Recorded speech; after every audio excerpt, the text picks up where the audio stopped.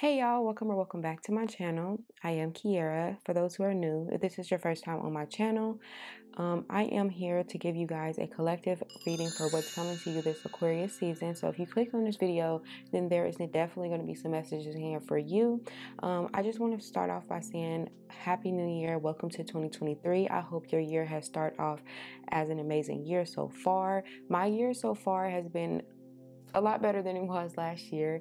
Um, I haven't really been putting out any readings on my channel lately because of the fact that I just feel like my energy was off. And if we were completely honest, I don't like to post pick a card readings or any type of readings where I'm trying to uplift someone else and I don't feel uplifted myself, if that makes sense. So that's why at the end of 2022, I didn't really post any readings like that. But I'm trying to get back into the swing of things and post, you know, more collective readings again. Um, so, like I said today, for today's reading, we're going to be um, getting into what is coming to you this Aquarius season, some messages that you can use this Aquarius season, some advice. So, let's go ahead and get into these messages. The first deck we're going to be getting cards from is the Moonology Oracle deck. And the first card we have is a personal issue reach a personal issue reaches resolution and this is a full moon in cancer. So just with that card alone i feel that um for something for that to be the first card to come out i feel like this is going to be a reading going along along the lines of an emotional like emotional baggage like you know releasing emotions, letting go. Full moons is all about releasing things and all things like that. So I feel like with this being a full moon in Cancer, a personal issue reaches resolution. I feel that for most of you viewers, you're probably going to be releasing old emotions, old baggage, things that you want to let go of. Um, and things that you know probably held you back in 2023 so coming into this aquarius season you're going to be getting to the point where you can finally release and let go of these issues um, we also have blue moon Blue Moon, Believe in the Impossible. So, if you felt like it was impossible for you to, you know, finally get past these situations or finally move on from these situations, this is telling you to believe that anything can happen. If you felt like you were going to be down forever, dealing with whatever it is that you've been dealing with these past few months or this past year, 2022, or even for me personally, I've been dealing with the baggage I've been dealing with since 2020. So it's for me, it's been, you know, two years, okay? But for some, it might not be that long. But just believe in the impossible. Believe that whatever it is that you want to get through, you will get through. Um, healing, growth, and all that takes time. Nothing is just going to happen within a blink of an eye. Some things can, but when it comes to healing, you have days where you feel great, you have days where you feel like crap. And that's just being completely honest. Um, I feel that for this reading, I feel that you need to believe that it is possible for you to move past these emotions. It is possible for you to put these emotions in the past, if that makes sense. Oh my gosh, we I can't even talk right. Okay, we have I think that's balsamic moon a time for healing. Okay, like I said, this is something for you guys. I feel like you guys are healing something. You are moving past something. You are getting over something that caused you to be down these past few months. And I feel that you guys are really, really stepping into your own energy, stepping into your power and healing yourself. And although you may have some help along the way of healing, I feel that I feel like there's going to be like a huge shift in the way you start to view what you've been going through, the way you start to view everything that you've been experiencing. I feel like there's going to be a huge, huge shift in the way you start to acknowledge your growth and acknowledge the things that you've been through. Um, we also have step out of your comfort zone, the North Node. Um, so, with the North Node, the North Node is about uh, like your destiny, your life um, not your life path, but um, what you're meant to do this not what you're meant to do this lifetime. So I feel like stepping out of your comfort zone is gonna get you to the point of being in a place where you can actually get in alignment make get in alignment of the things that you're supposed to do this lifetime so i feel like he, moving healing and moving past these obstacles that you've been faced with these past few years is something that's going to help you get past and move forward in your life. Um, maybe these things have been holding you back and um, stepping out of your comfort zone, allowing yourself to feel through these emotions. And I feel like when it comes to these emotions, I feel like for most of you, you probably leave your emotions bottled up and you don't allow yourself to feel vulnerable.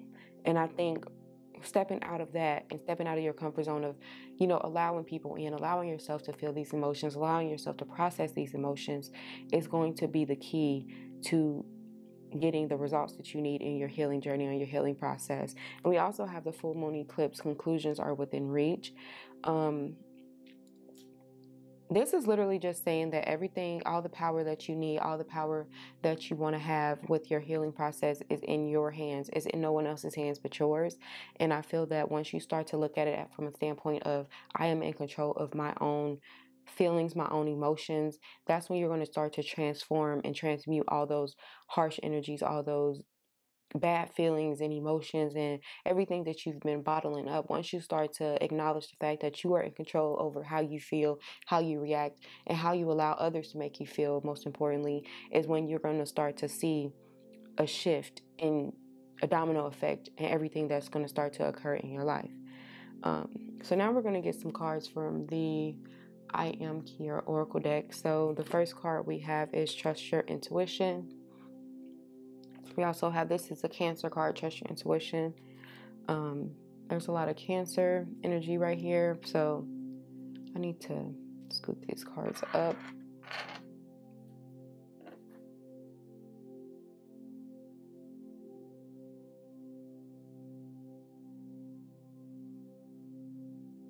So we have Cancer, trust your intuition. So this is all about Cancer is about intuition, it's about emotions, your inner world, your inner feelings.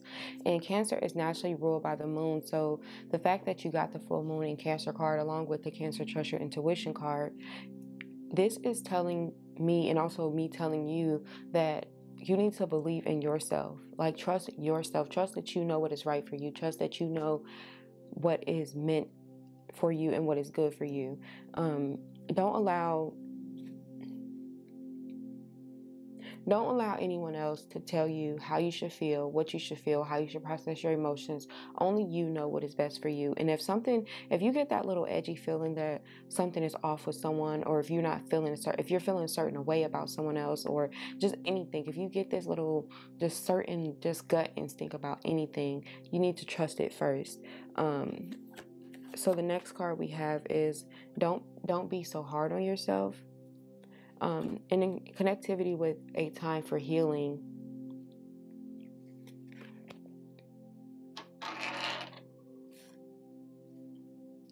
In connectivity with a time for healing, I feel like when it comes to this healing journey this healing process that you are going through and what you're experiencing or what you have experienced these past few months, I feel like it's time for you to go a little bit easier on yourself. A healing process is a hard process to go through, but you also have to remember that you don't have to be so harsh on yourself. Like feeling your emotions by yourself, for yourself, getting through things by yourself is hard enough you don't need to carry the baggage of being so harsh on yourself. If you feel sad one day, it's okay. If you feel happy the next, it's great. But you don't have to be the person to beat up on yourself if you start to feel a certain emotion that you thought you were past. Like it's okay to feel emotions over and over again. Like don't be so hard on yourself once you start moving past certain things, but then a couple months later they come back up because, you know, feelings are surfacing up or you experience some like type of triggering triggering emotions or something triggers you to feel those emotions again that you thought you were past. Like try not to be so hard on yourself when it comes to that. Um, and we also have the card keep going. Um, and in connectivity with believing the impossible, I feel like it is up to you to keep going. No one else can push you or drive you to keep going. Even me just giving you this advice is not enough for it's not enough drive or energy to get you going. Like only person that can keep you going is you. Of course, you have motivation from other people. You have, you know, encouragement from other people. You have advice from other people. But the only person, like I said, everything is in your hands. And I can't remember when I said that earlier, but I feel like I said that earlier. But in order to keep going, you have to be the person that pushed through. You have to be the person that is in charge of your own life. Stepping out on faith, stepping in your comfort zone, stepping out of your comfort zone, and believing that you can get through things you have what it take. You know what I mean? You have what it take.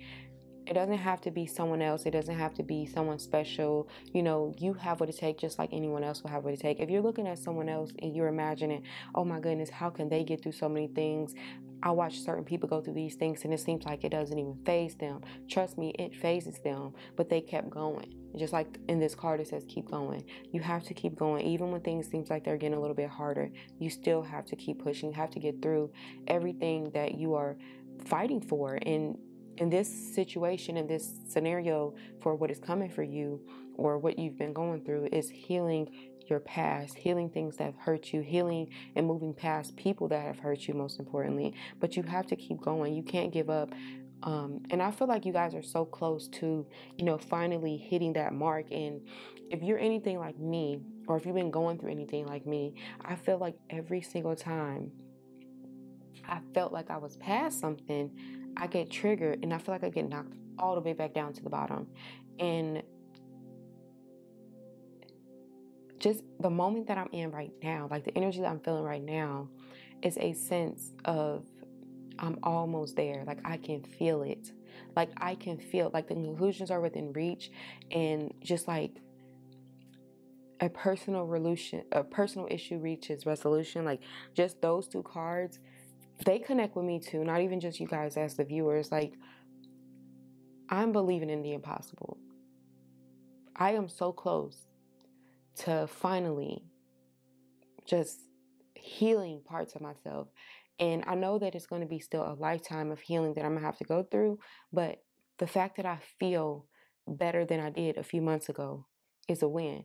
And I'm going to keep going. And that's the advice that I'm giving you is just to keep going. Do not give up. Keep going. Keep going. No matter what, just keep going. Just don't give up on yourself. And we also have the card courage. Um, and that card, I feel like it really kind of speaks for itself. Just having the courage to, you know, keep on pushing and keep going and just being courageous. When you think about courage, when I made this card, by the way, I designed this deck if you didn't know, this is your first time on my channel. But when I designed this card, courage, my thoughts of this card was reminder of Leo and how the lion is courageous and that's why I decided to do the yellow eyeshadow look on there. So just being like think about Leo, how Leos are lions are like the king of the jungle. Lions are they're very courageous and they don't back down from a challenge. That's what I want you to walk away with from from this video today is just having courage to keep going and you know, don't back down from a challenge. Don't back down from the emotions. Don't back down from the hard feelings. Don't back down from anything else you may face. we also have the card New Beginning, Fresh Start. And like I said before, this is the ending of a cycle for you guys. Like, I feel like y'all are so close to finally being healed, finally moving past certain situations. And this is confirmation that you are on your way to a fresh start. You are on your way to something better. And all it takes is just a little bit more courage and motivation and just not giving up on yourself and believing in yourself to get you to where you need to be. We also have a card, Libra Harmony. Um, I feel like Libra is also about balance. So I also feel that in order to experience this harmony in this fresh new beginning, this fresh start, there's going to be some obstacles in your way. And I feel like you're going to have to find balance between your emotional standpoint and what is actually going on in your life because sometimes we let our emotions i'm trying to use i'm trying to think of the words that i want to use to be quite honest but I, they not they're not coming to me. But sometimes in our lives when we let our emotions overrun our personal lives and our day-to-day life sometimes we will leave ourselves way worse off than we would have been if we just you know think with our head instead of our heart. And i feel like this is a time where you need to that's crazy because i'm thinking about the lion and what was that the Wizard of Oz, wasn't that like someone didn't have someone didn't have a brain or a heart or something? I can't remember exactly how it go, but basically like thinking with your head and not with your heart. And I feel like this is a time where you need to find balance between the two because Libra is also about balance. Libra is represented by the scales, about balance and harmony. So in order to experience this harmony, I feel that you are needing to um I feel like you're going to need to find that balance between your head and your heart. I hope that makes sense. Like those are the words that's coming to me. So hopefully that makes sense for you. And then we also have for the tarot cards, we have the Modern Witch Tarot. So we have the Ten of Pentacles, and the Pentacles is something of the earthly realm, it's something of material, and the Pentacles, the Ten of Pentacles in particular represents um, stability, um, like inheritance, setting up a stable foundation for your future. Um, and I feel like moving forward, once you move past and start to heal yourself, if you haven't already started to, you're going to get to a place where you can actually start to experience this, where you can actually start to experience setting up a stable foundation for your family, for your future. And I feel that for most of you, or not, if not all of you, um, you're going to be getting to a place where you move past this like this portion of your life of course you're going to go through things again you may have to heal through things again but i feel like Maybe you've been down, and this is the portion of your life where you're down, but you're going to start to experience better things in your life. Of course, you're going to still go through things in life, but this is a time where you're starting to set up. I'm getting like the sense of you are breaking generational curses so that your children and their children don't have to experience the things that you are experiencing. And maybe that's the emotional baggage that you are going through. Um, so, whatever the heartbreak looks like for you. And we also have the star card. Okay, so the star card, when I think of the star card, I think of like enlightenment, fresh start. Um, everything in this is saying like a new beginning, fresh start, new things coming to you. Um, and I feel like you see in the star, like she's completely naked. She's like, she's giving back to the earth. She's giving back something like in this card she's giving the depiction she's giving back to the earth. But i also like to symbolize that as giving back to yourself as well. She's fresh out of this healing journey. She's in not to you know be let me move this because this is crazy because i just like noticed this just now. Let me reset my camera really quickly. Okay not to be on the weird things, but in this picture of me, like I said, I designed this deck. So these are all pictures of me in the I Am Keyera Oracle deck. And in this picture, I am topless in this picture. TMI, I know, but you can't tell because I kind of cropped it out. But it, it kind of is reminding me of this card because she is, she's, she's, you know, and I feel that she's giving back and like new fresh start, new beginnings. That's why I chose that card for that card, that picture for that card is because I was like bare. It's like a new, fresh start. And it's so crazy because the star card is like, to me, the star card is symbolizing the same thing. And I feel that you guys are starting fresh. You're starting from, you know, like when a, when a baby is born, they come out the womb and they're just, they're there. No clothes, no nothing. They come into this world just bear. And I feel like this is the fresh start that you guys have been looking for and the fresh start that you deserve to have when it comes to your future. And once you get past these emotions, this Aquarius season, all of this stuff, all of what you went through will start to make sense because you have the experience. Like I said, you're going to have the knowledge and the experience to teach it to your children and your grandchildren, your great grandchildren, and so on and so forth. Um, we also have the Ace of Cups. And the cups are all about emotions. So I feel like there's going to be a fresh start when it comes to your emotions, like we've been talking about this entire reading. I feel like there's going to be a fresh start when it comes to your emotions, maybe some new love coming into your life. And I feel that I don't know. Maybe someone is going to be coming into your life. If they, if you're if you have been dealing with a situation when it comes to like relationships, I feel like this is going to be some new a new person or some new love coming into your life. But if you've just been dealing with emotions as far as like family issue drama, like personal life drama, then I feel that you're getting a fresh start when it comes to your emotions. You're going to be pouring into your own cup at this point in your life. Um, so two different messages for two different people, but take whatever you know resonates with you, of course. And we also have the Seven of Cups, and this is reminding me of what I said about finding a balance um, with that Libra and Harmony card.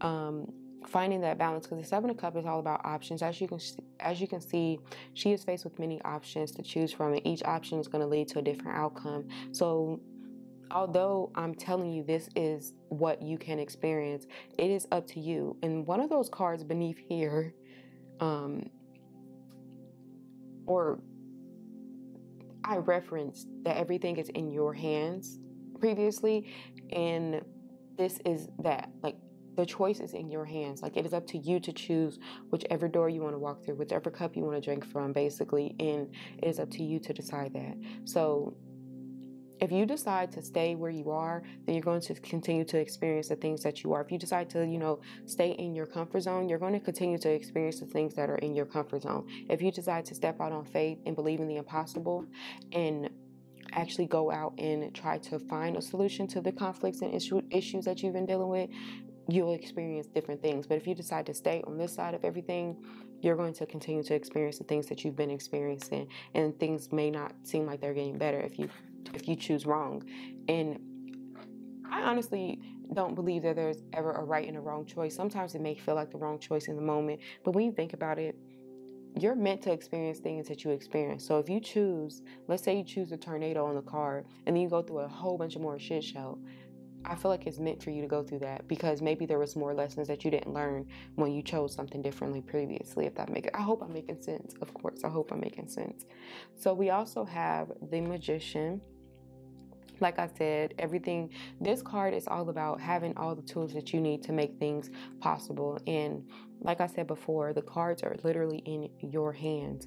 Everything is literally in your hands. And I feel that with the magician card, that's just confirmation that you have the power to create the reality you want. You have the power to create the life that you want.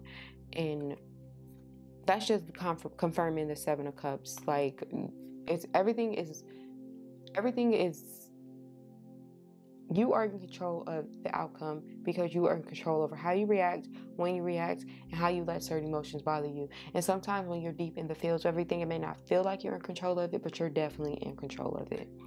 Um, and like I said, don't be so hard on yourself. If you feel it, feel through it. My favorite quote, and I don't know if I made this, but I say this a lot. In order to heal through it, you have to feel through it. And I stand on that. In order to heal through it, you have to feel through it. And we also have a card, this Queen of Swords. And the Queen of Swords is all about honesty. She cuts through the lies. She is very truth seeking. And I think this is you are you are becoming the Queen of Swords. You are no longer lying to yourself about how things are, how things should be. You are you are literally seeing things for what they are and you're not allowing little white lies or, you know, um, I feel like this is more of a a conversation for like just being honest with yourself. Um, having the courage to be honest with yourself and not allowing yourself to make excuses.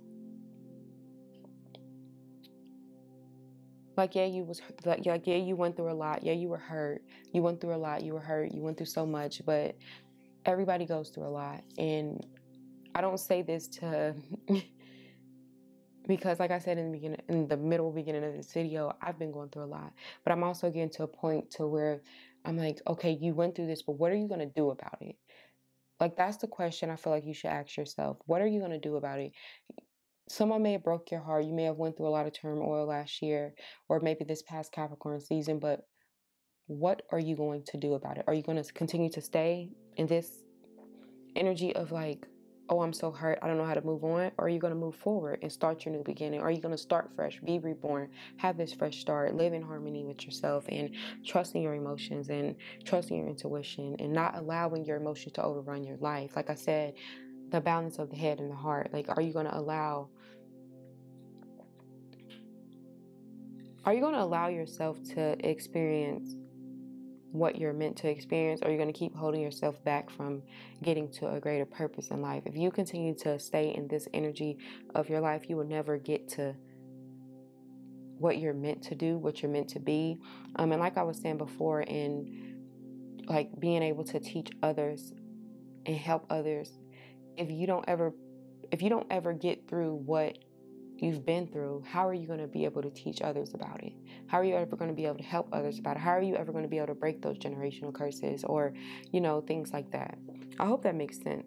Um, And then we also have the Justice card, which is also representation of the Libra and the scales. As you can see, there are scales on here. So that kind of just confirms the message of finding that balance. And I feel like there's a decision that you will be making this Aquarius season to kind of wrap up your reading. There is a decision that you will be making this Aquarius season. And